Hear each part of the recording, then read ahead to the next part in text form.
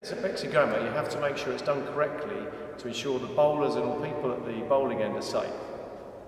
You take the velcros, secure them together.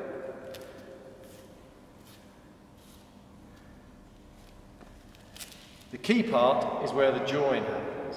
You take the join and where your hands are, you put two pieces together and then twist. You do not move your hands up, you just keep twisting from that point.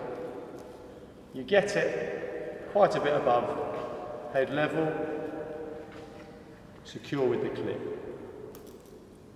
And that will stay together.